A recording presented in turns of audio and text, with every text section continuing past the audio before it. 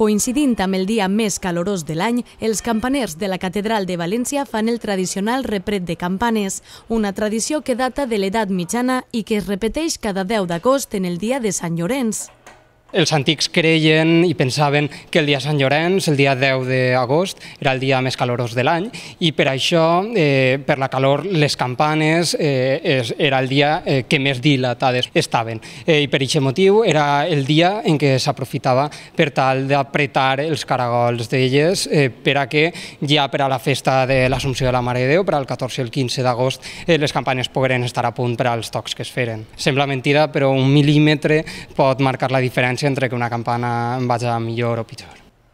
L'associació du a terme importants tasques, entre elles difondre el patrimoni campaner. Som una associació cultural sense ànim de lucre que ens dediquem al toc manual de les campanes de la Catedral de València, eh, però a més a més també al seu manteniment, a la difusió del patrimoni campaner d'esta torre i de molts altres campanars i a més a més ens dediquem també, una de les principals facetes d'aquest col·lectiu és la investigació. Eh, molts membres d'esta associació eh, hem, hem investigat, hem dut a terme eh, investigacions arreu del territori espanyol, tant a la comunitat valenciana valenciana, en alguns casos com també, per exemple, al territori aragonès en els últims anys. El repret comença al voltant de les 5 i mitja de la vesprada. Les altes temperatures registrades durant la jornada fan que els ferros que fixen les campanes estiguen dilatats al màxim i és una tasca important apretar-los per a fixar la peça.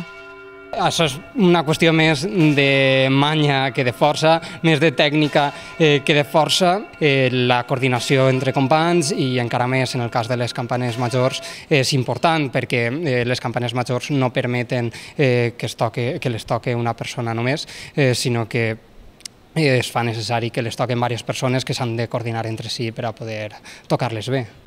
De menor a major, els campaners s'alcen una a una les campanes del Micalet i una vegada finalitzat el repret, la campana major de la torre, la Maria, de 2.500 quilos, es volteja a mà per a anunciar que s'ha acabat el repret i es celebra al mateix temps que tot ha eixit bé.